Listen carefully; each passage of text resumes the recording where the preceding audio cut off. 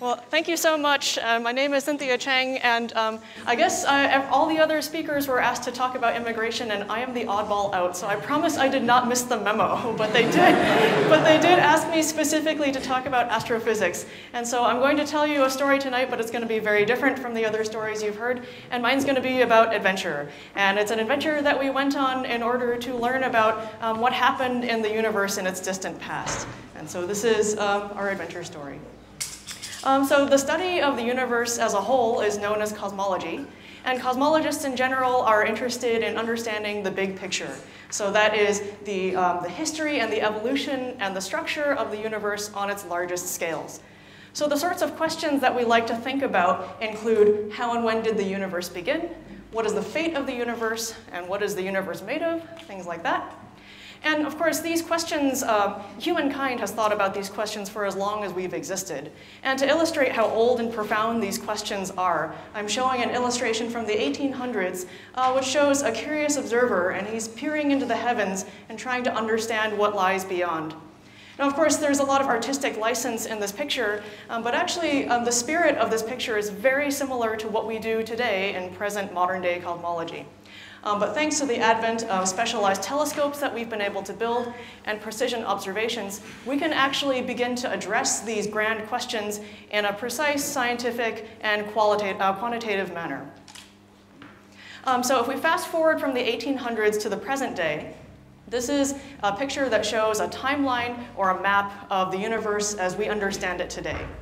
So we believe that the universe began its existence 14 billion years ago in a, in a large explosion called the Big Bang.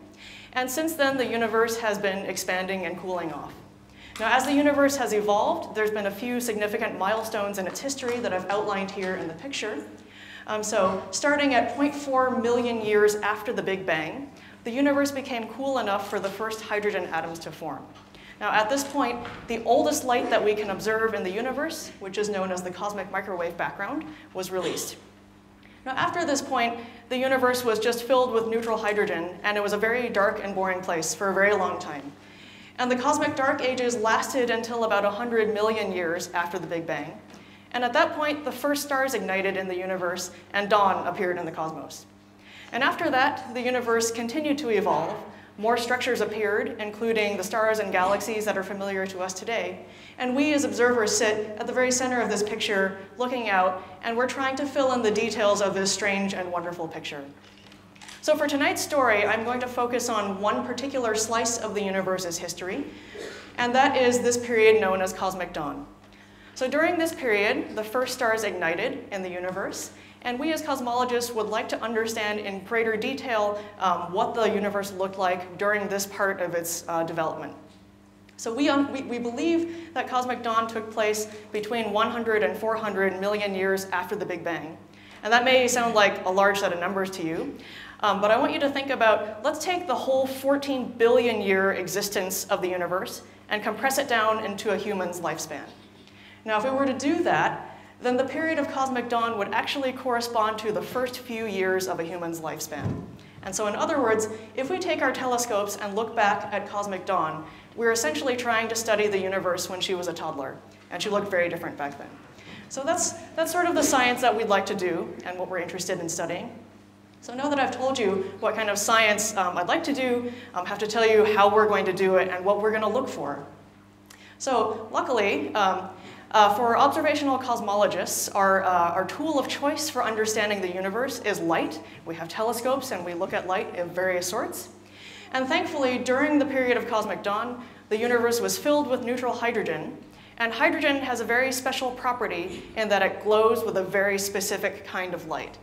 So it turns out that hydrogen atoms emit radio frequency uh, light, and if we can tune in our telescopes to observe at frequencies between 50 and 150 megahertz, we can literally listen in to the period of the first stars igniting in the universe.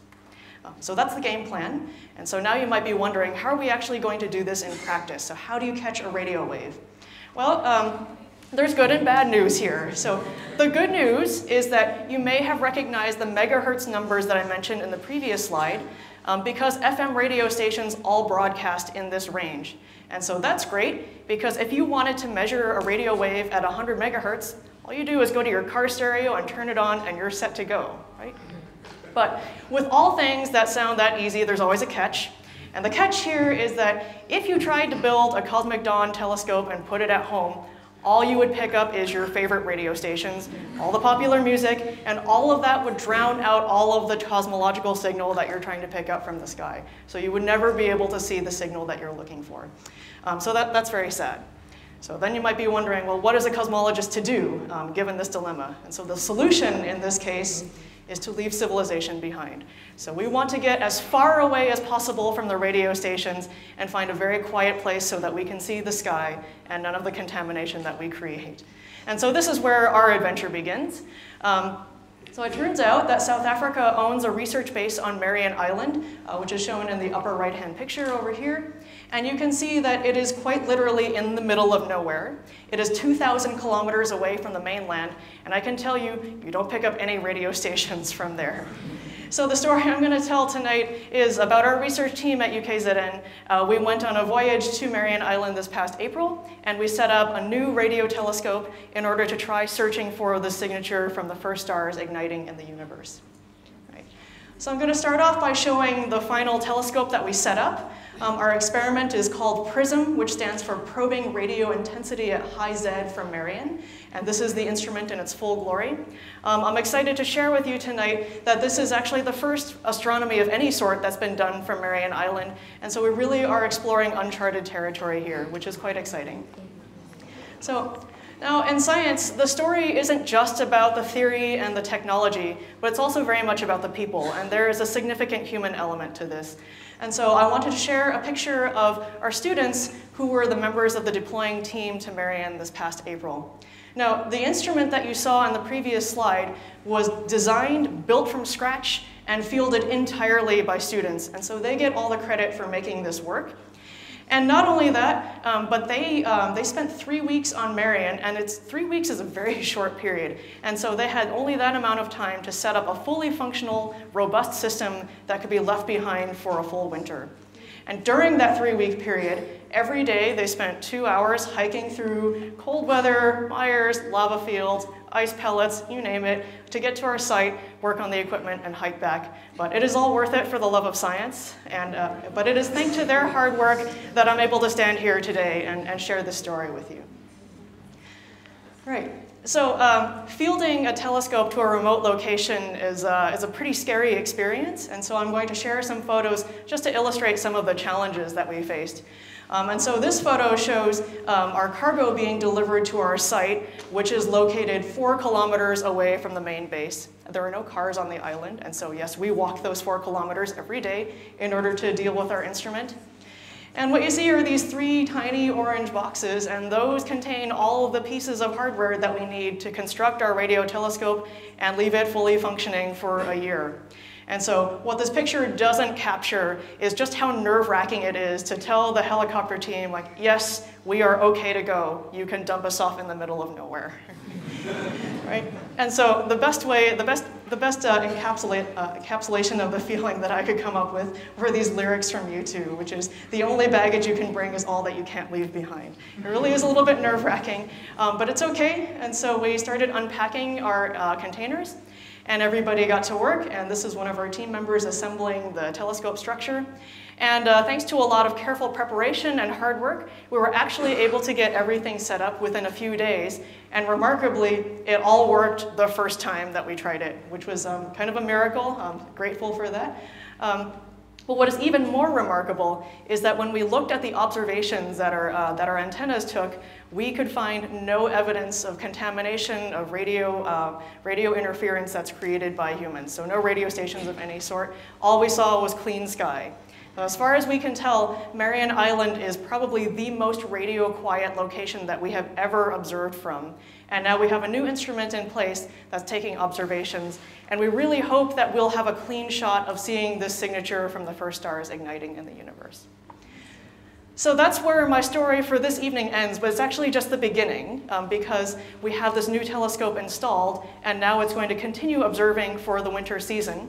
And so even though our team has come and gone from Marion, we have passed the torch on to Kagiso Malepe, who is shown in this photo. And he is the superhero of the next chapter of our story um, because he is the person who is spending the winter on Marion to take care of our equipment.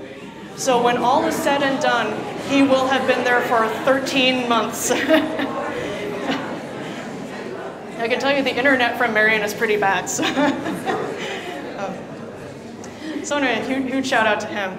So I hope I've convinced you tonight that with radio telescopes, we can really explore some interesting and exciting uncharted territory in the universe's history. And in particular, this period of cosmic dawn should be pretty fun to look at um, because wouldn't it be nice to see the first stars igniting in the universe?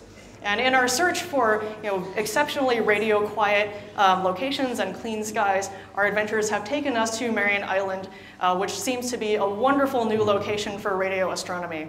So we have our equipment up and running now, and we're doing our observations. So please stay tuned to find out what we can learn from this very special location. Thank you very much.